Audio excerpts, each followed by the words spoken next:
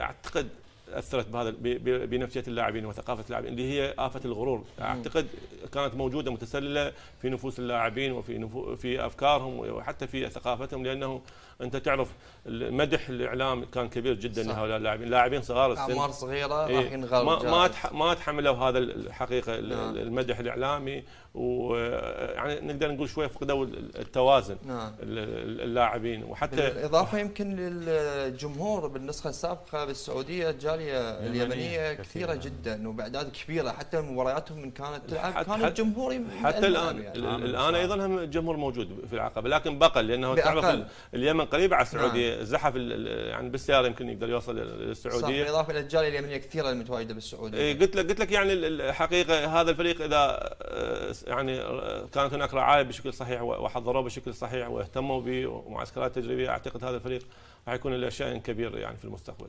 أه نتمنى هذا الشيء يكون آه، لليمن الشقيق من الفرق اللي آه، ما تكون مكروهة الكل يحب اليمن والكل يتمنى الخير اللي هذا وطبعا أكو شيء شيء مهم يعني يمكن الخسارة هاي فادت المنتخب اليمني، شلون؟ يعني تدري بالفوز الأخطاء يعني تضيع هو طبعا يركز عليها. إيه بالخسارة تظهر. أنا أنا أقول بالفوز يجب إنه إحنا نصحح اخطائنا والسلبيات اللي اللي تكون موجودة لأنه اللاعب تعرف يتقبل النقد والتصحيح تكون نفسيته مرتاحة عندما المدرب يتكلم وياه. آه، كابتن علي تحول للمنتخب العماني. آه، يمكن بالمباريات السابقة تحدثنا عن نهج جديد المدرسة الإسبانية نعم. من الفئات العمرية. آه، فكر واضح مبين للاتحاد العماني إنه يريد يبدي من الفئات العمرية حتى يطور منتخب أول فكر إسباني تيكي تاكا آه، بناء من الخلف وتركيز على هذه الأمور. تحسب لهم. هو يمكن الاتحاد العماني يريد أن ينتهج ويخطو خطوات الاتحاد القطري من خلال الاستعانة بخبرات إسبانية مثل ما كان الاتحاد القطري استعان بسانشيز وكادر التدريبي وغوارديولا إضافة إلى تشافي كل هذه الأسماء الإسبانية بالتأكيد عمان أيضا هي دولة خليجية نعم. لديها الإمكانيات لديها الملاعب وهي بالتعداد السكاني أكثر من قطر من, قطر. من ناحية النفوس نعم. لذلك شنو الضير أنه أنا أستنسخ التجربة القطرية؟ وهي ناجحة يعني. هي ناجحة. الآن لكن تنجح إذا كان لديك الخامة الجيدة. المقومات الأساسية المقومات الأساسية موجودة ملاعب من أفضل الملاعب. كذلك خامة اللاعبين لكن خامه أنا شلون أنجح؟ أنجح من خلال تواجد لاعبين مميزين. نعم. ترى المنتخب القطري ما جاء اعتباطا جاء من الناشئين إلى أن وصل لمرحلة المتقدمين ببطولات اشترك ببطولات أشبال ناشئين نعم. كل هذا. ومعسكرات تدريبية قوية كل ما يخطر في بالك من آه، جمالية كرة القدم وفرت واعطوها للمدرب لذلك ينجح. شاهدنا المنتخب العماني. يمكن أنا قلت لك يمكن هذه أضعف نسخة من المنتخبات المنتخبات العمانية أنا اركز على هاي النقطة أنت دائما ما تمدح تقول المنتخب العماني منتخب جيد. جيد نعم. ليش؟ لأن عمان في بفرق الصغار لأن إحنا لعبنا وياهم في كثير نعم. من البطولات شاهدناهم بعدنا. كل الفئات العمرية المنتخبات العمانية قوية جدا. صورت كانوا لاعبين من أبرز لاعبي العالم في بطولة الناشئين. هسه اعتزلوا هم. إذا تجي البدر الميمني تجي عماد الحوسني تجي نعم. أحمد كانوا وغيرهم كلهم من الأشبال والناشئين هذا الجيل منين اجى؟ اجى من الأشبال نعم. والناشئين أيضا جيل مهدي علي في الإمارات نعم. هي تجارب تستنسخ لذلك أنا أشوف إنه التجربة نعم أنا ذاك يوم قلت لك إنه الأخ علي النعيمي يمكن هم والأخ حسام المعمار عندهم قريبين من من مصادر الحدث نعم. من المصدر لذلك تشوف الاطلاع المعلومة تجي جميلة.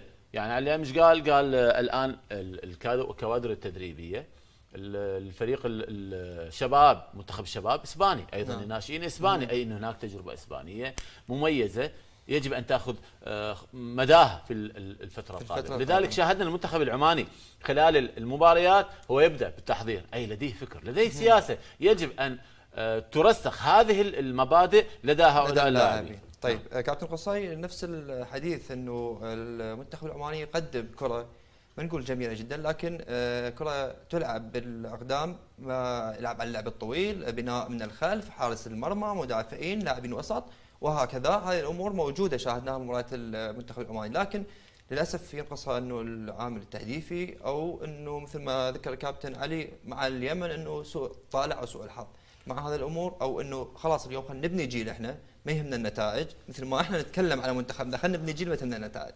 شوف ال- هي هاي البطولة مو مؤهلة إلى نهائيات آسيا ولا مؤهلة إلى كأس العالم. نعم. الب- البطولة بها تحضيرية تحضير بها بطولة تنشيطية بطولة يعني أستفاد من أخطائي كفريق وكمدرب.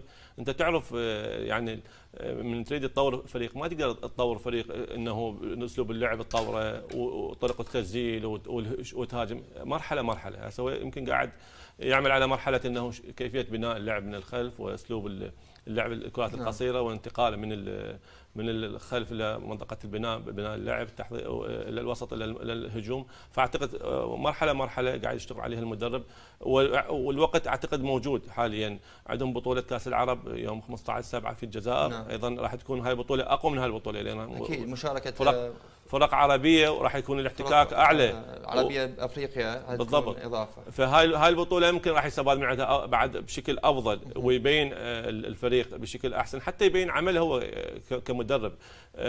نهائيات تصفيات آسيا يوم 1 10 هي هاي راح تكون هنا العمل يبين مالتك العمل كمدرب عملك كفريق كيعني عمل فردي كعمل جماعي كلاعبين نعم. آه، هي التصفيات راح تأهلك إلى آسيا بهاي هنا راح ممكن يكون يعني آه، يعني نشوف عمل إنه هل كان ناجح, ناجح. خلال هالبطولتين. أو التحضير أو أو فشل آه، بعدها ممكن يغير حتى منهجه يعني مرات خلاص هذا الأسلوب ما نجح ابد مرات أنا. قلت لك يمكن قبل فترة قلت لك طريقة اللعب اللاعبين هم من يصنعون الطريقة مو. ط- يعني أنت مو تجيب طريقة وتخلي وتطبق على لاعبين هم اللاعبين إمكانياتهم ما تقدر ما تستحفك إنه يطبقوا لك هذا هذا نعم، الأسلوب. هسه المنتخب العراقي آه، مو بس منتخب الناشئين حتى